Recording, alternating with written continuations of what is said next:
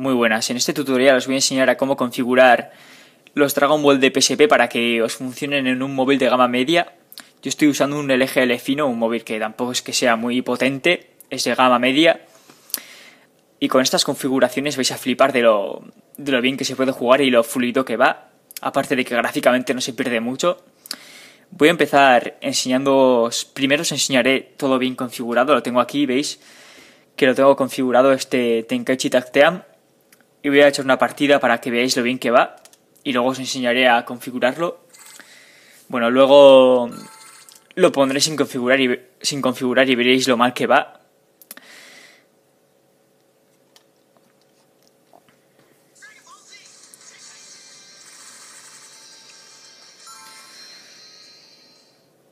Vale, aquí tengo una partida que me descargué para no tener que pasarme el juego.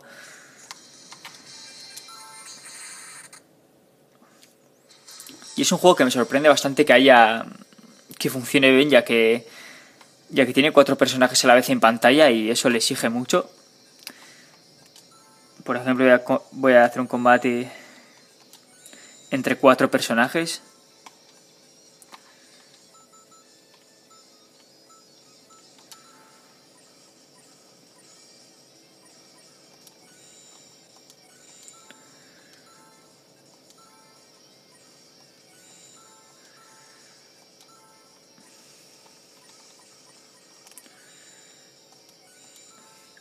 También hay que decir que hay mods y están muy bien los mods de este, de este Tenkaichi. Hay mods muy buenos. Este es el juego original. Vale.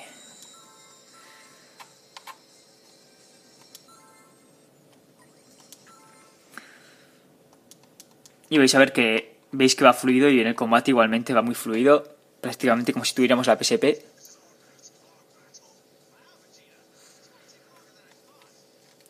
También puedes jugarlo, y estoy jugando con un mando especializado para móviles, pero podéis jugarlo con la pantalla táctica igualmente. La he quitado yo para porque no, no la necesito. Veis aquí que funciona perfectamente. Uf.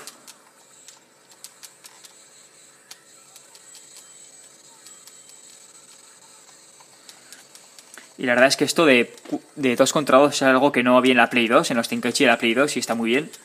Ya la podrían haber metido. Es curioso que lo meten en el de la PSP y no en el de la PSP y no en el de la Play 2, que tiene mucha más potencia, como consola tenía la Play 2. Veis que va a la perfección.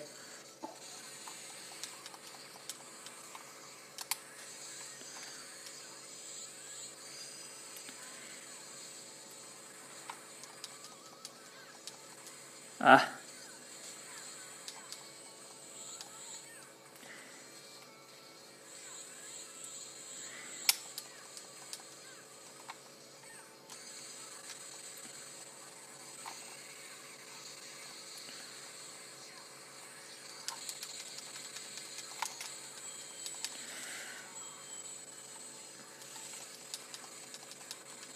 Veis que va muy fluido.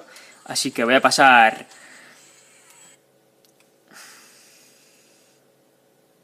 Ahora lo que voy a hacer es... Para ir a la configuración propia del juego tenéis que darle al triángulo. En, este, en vuestro caso seguramente no tendréis el mando. Le dais en la, en la pantalla táctil al triángulo. Y voy a probarlo ahora sin la configuración. Borrar configuración del juego. Confirmar.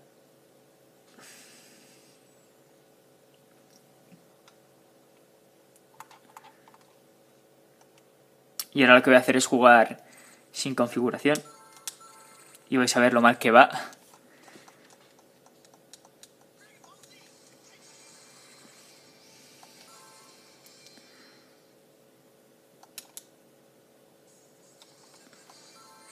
En la segunda parte del vídeo haré sobre el Shin Budokai y Shin Budokai 2 que llevan la misma configuración.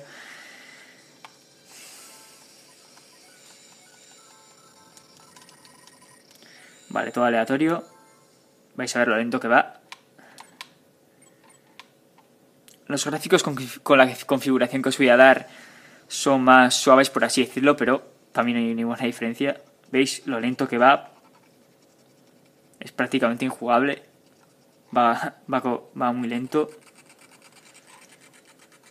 Así que ahora lo que voy a hacer es... Esto es lo que tendríais que hacer vosotros. Darle al triángulo, crear configuración de juego. Ajustes de juego. Motor gráfico, esto lo dejáis como está. Esto, saltar efectos el buffer. Pone aquí que no se verá nada en algunos juegos, pero en este juego, como habéis visto antes, se ve perfectamente. Esto nada. Saltar cuadros no, eso se, vería muy escalado todo. Esto es para God of War, pero aquí funciona perfectamente, eso lo dejáis así. Modo inmersivo es para que se vea la pantalla completa.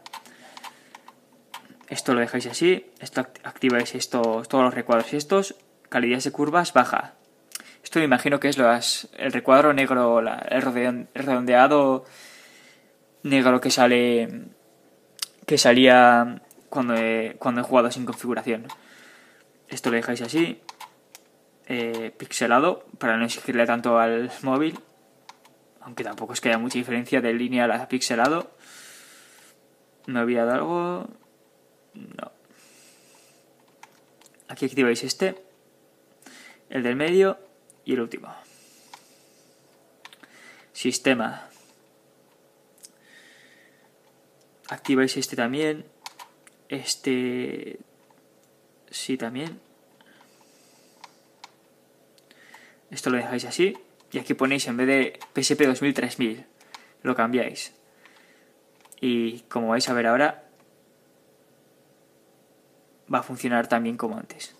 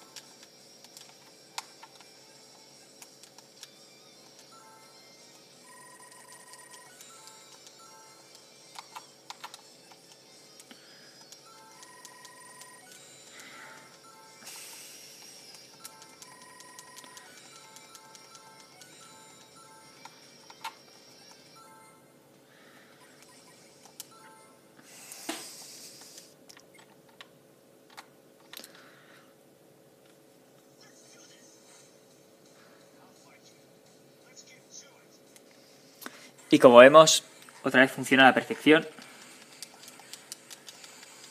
Así que esta es la configuración adecuada. Espero que os haya servido.